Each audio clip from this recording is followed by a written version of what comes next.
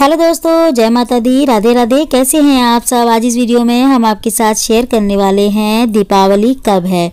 तो फ्रेंड्स दीपावली के त्यौहार को लेके और डेट को लेके मतलब बहुत सारे लोगों के मन में दुविधा है कि कौन सी डेट को दीपावली है? बारह तारीख को है या फिर तेरह तारीख को है? कौन सी तारीख को दीपावली मनाएँ? और दीपावली की पूजा का शुभ मुहूर्त क्या होगा? तो फ्रेंड चलिए, हम आपको यही सब बताने आए हैं इस वीडियो में कि दीपावली की पूजा का सबसे सही मुहूर्त कौन सा है और दीपावली कब मनाई जाएगी? 12 तारीख को या फिर 13 तारीख को? तो फ्रेंड्स दीपावली का त्यौहार हिंदू धर्म में सबसे बड़ा त्यौहार माना जाता है। ये सबसे बड़ा त्यौहार है। देश भर में ना, दियों से पूरा देश हमारा जगमगा जाता है। दियों से, लाइटों से और घरों में तो महीनों पहले ही तैयारियाँ शुरू कर देते हैं दीपावली की। जो है ना सफाइयाँ शुरू हो जाती हैं, सजावटें शुरू हो जाती हैं, घर के लिए शॉपिंग शुरू हो जाती हैं तो आप मान सकते हैं कि कितना बड़ा त्यौहार है हम हिंदुओं के लिए दीपावली का। तो दीपावली का त्यौहार तो बच्चों के साथ साथ बड़ों को भी रहता है कि कब है, कब नहीं है तो डेट को लेके जो कन्फ्यूज़न है ना, बस उसी को हम आपको दूर करने वाले हैं आज और बताने वाले हैं कि, कब की है दीपावली। और फ्रेंड्स, दीपावली के दिन माता लक्ष्मी सभी के घरों में आती हैं और अपना आशीर्वाद दे के जाती हैं सभी को और ना सुख समृद्धि से घर भर जाता है। माँ, जिसके घर में माँ लक्ष्मी अपना प्रवेश करती हैं तो भक्तों को ना बड़े मन भाव से, बड़े प्रेम से ना अपने घर में माँ लक्ष्मी का स्वागत करना चाहिए, साफ़ सफ़ाई करनी चाहिए, अच्छे से मनाना चाहिए दिवाली का त्यौहार। तो उसके साथ साथ पूजा भी बहुत अच्छे से और शुभ मुहूर्त में ही करनी चाहिए। तो चलिए चलिए बता देते हैं हम आपको दीपावली कब है?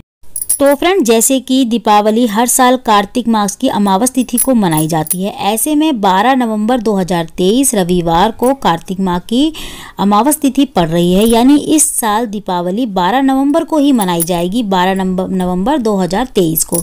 जैसे कि देखिए होई अष्टमी इतवार की है ना तो अष्टमी से ठीक आठ दिन बाद मतलब जिस दिन की अष्टमी होती है ना, उसी दिन की दीपावली होती है। तो संडे की अष्टमी है तो अगले रविवार की ही दीपावली होगी, ठीक है? तो बारह तारीख को ही दीपावली मनाई जा रही है और जो दीपावली है ना, ये जो तिथि है, कब शुरू हो रही है? तो दीपावली ना 12 तारीख को दोपहर में दो बजकर चवालीस मिनट से शुरू हो जाएगी और 13 नवंबर सोमवार की दोपहर दो बजकर छप्पन मिनट पे समाप्त हो जाएगी। तो इसकी जो पूजा होती है ना, वो प्रदोष काल में होती है। दीपावली की जो पूजा होती है, वो प्रदोष काल में होती है, वो रात के अंधेरे में ही होती है, दिन में नहीं होती। तो इसीलिए इसका त्यौहार जो है ना, दिन में मतलब बारह तारीख को ही मनाया जा रहा है। लक्ष्मी पूजन करने का जो शुभ मुहूर्त है ना और प्रदोष काल में ही लक्ष्मी पूजन करना शुभ माना जाता है। इसलिए 12 नवंबर को दीपावली मनाई जाएगी। ये तो आपको कंफर्म हो गया कि 12 नवंबर को दीपावली मनाई जाएगी। फ्रेंड्स, धार्मिक मान्यताओं के अनुसार दीपावली के दिन विधिवत रूप से माँ लक्ष्मी और भगवान गणेश की पूजा अर्चना करनी चाहिए। ऐसा करने से माँ धन, धान्य और सौभाग्य की प्राप्ति होती है। हमारे घर में, परिवार में सुख समृद्धि बनी रहती है। अगर लक्ष्मी पूजन का जो शुभ मुहूर्त है ना, उसकी बात करें तो वो 12 नवंबर की शाम को पाँच बजकर चालीस मिनट से पूजा का शुभ मुहूर्त होगा, जो सात बजकर छत्तीस मिनट तक रहेगा। तो ये पूजा का शुभ मुहूर्त सबसे ठीक है, सबसे पहला मुहूर्त है ये पूजा का, और सबसे अच्छा मुहूर्त यही है यही है। इसके बाद देखिए, ग्यारह बजे का है शुभ मुहूर्त, वो मुहूर्त इतना लेट करने से अच्छा तो ये है कि आप पाँच बजे से पहले पहले पूरी तैयारी कर लें, और छः बजे से साढ़े सात बजे तक अपनी पूजा जो है ना समाप्त कर लें और इन्जॉय करें। दिवाली मनाएँ, दिए जलाएँ अपने बच्चों के संग, खूब इन्जॉय करें। और गिफ्ट बांटिए। तो फ्रेंड्स पूजा का शुभ मुहूर्त, जैसे कि मैंने आपको बता दिया है कि पाँच बजकर चालीस मिनट से शुरू होगा और सात बजकर छत्तीस मिनट पर समाप्त हो जाएगा। तो ये बीच का जो समय है ना, ये पूजा का है।